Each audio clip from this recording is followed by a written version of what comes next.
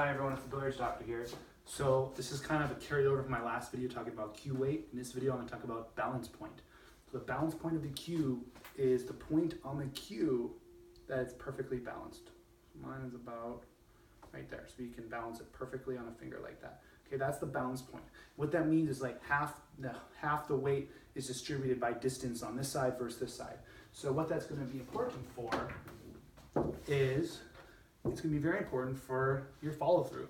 So when you're doing your shot, the cue should go downward. The cue should naturally go downward in a downward direction. It should drop. Okay? So that's going to vary. The amount it drops is going to vary depending on where the balance point is on your shaft. So if your balance point is super far back, okay, really far back here, that means you have a lot of weight in the back half of your cue. Okay, when there's a lot of weight in the back half of your cue, a lot of weight back here, balance point shifted further back, back here, what's gonna happen is as you shoot, your cue is gonna go up.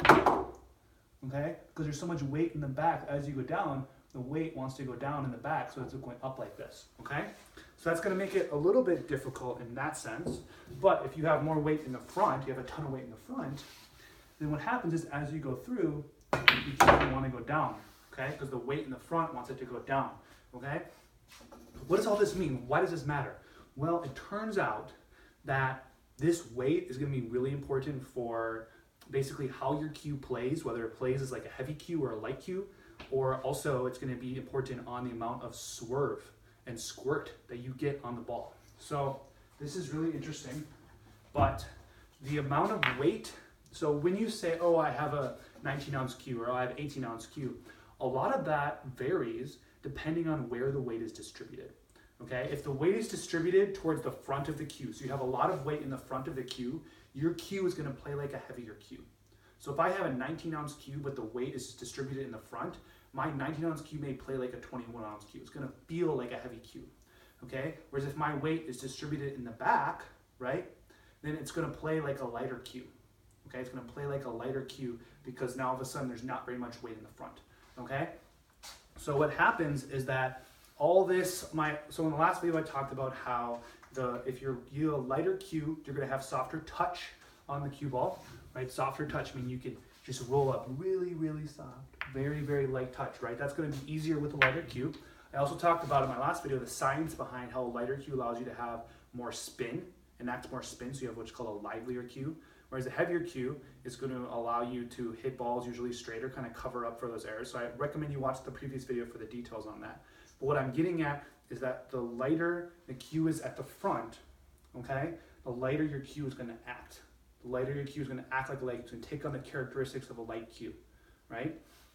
So another thing to keep in mind is that when we talk about squirt and swerve, so this is pretty advanced stuff here. I have another video that talks about squirt and swerve, so I highly recommend you watch that.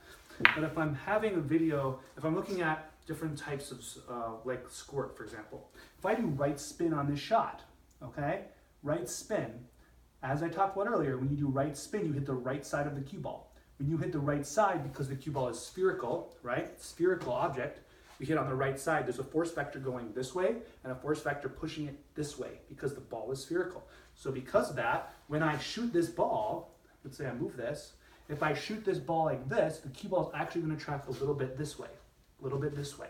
Okay, so because of that, I have to compensate. So when I'm putting right spin, I have to actually aim further to the right. Okay, see all that spin I generated? I have to aim further to the right. I have to compensate for that. It turns out that the more you have to compensate, right, has to depend on a couple of factors. It has to depend on the shaft. Is it low deflection? Is it, you know, a non-low deflection shaft, all these different factors. But a big factor it depends upon is the weight distribution of your cue. So if you have more weight at the tip of your cue, at the front of your cue, you actually have to compensate more than if you had less weight at the tip of your cue. So this means that when you're doing when you're doing your side spin shots, right? And I want to do right spin. If my cue has a lot of weight in the front of the cue, if it's a heavier cue in the front, I actually have to aim further to the right. I have to compensate further, knowing the cue ball is going to go more to the left when I use right spin. Okay? Whereas if I had a lighter cue at the front, I don't have to compensate as much because it's going to go more straight. Okay, so those are interesting things to keep in mind. You're thinking of the balance point. Now, balance point is some people say it's like the most important thing. It is one of the most important things. It's something that you, you that you can get used to over time, but it's something you should really think about. Um, when you're adding weight to your cue, 99% of cues you buy will have adding weight in the back of the cue. When you're adding weight in the back of your cue, not only are you making the whole cue heavier, you are shifting that balance point drastically. You are moving the weight from the front of the cue to the back of the cue. Like I said, what does that mean? Move the weight to the back of the cue. Your cue's gonna act like a lighter cue.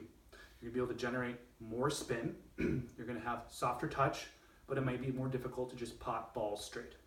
Okay, what else does that mean? It means you're gonna feel it. When you add weight in the back of your cue, your back arm is gonna feel that weight directly. It's gonna feel heavier, even though it's gonna act lighter. You're gonna get the effect of a lighter cue, but it's gonna feel heavier. Um, last thing to keep in mind is that when you're adding weight in the back of the cue, you wanna just be careful because during your follow through, you'll notice that as you do your follow through, your cue tip will automatically come up a little bit because that weight distribution is saying weight in the back it wants to go down so the front wants to go up. Just keep that in mind that when you do your shots that you make sure that every time you're doing that pendulum stroke and as you go through your cue tip should automatically go down okay? So those are things to keep in mind. That being said um, you know a lot of people have different preferences. A lot of the players now are switching to these extensions on the back like i have here. This is an 8 inch qr2 extension. Um, shane has one earl strickland efren reyes jason shaw a lot of people are moving to this that's going to move the balance point backwards. So just keep that all in mind when thinking of your balance point. Um, I said, a lot of it's personal preference, but if you're using a heavier cue and you add a lot of weight and you have an extension in the back, not only are you making it a heavier cue, you're really shifting that balance point really far back because all the weights being added in the back. Anyways, I hope that was helpful. Sorry I talked so fast. I want to get all this in a quick video. Um, like I said, this is one of those like really detailed sciencey videos, so I, I really hope it was helpful. Um, this is the Billiards Doctor. Thanks for watching. Stay tuned for more videos.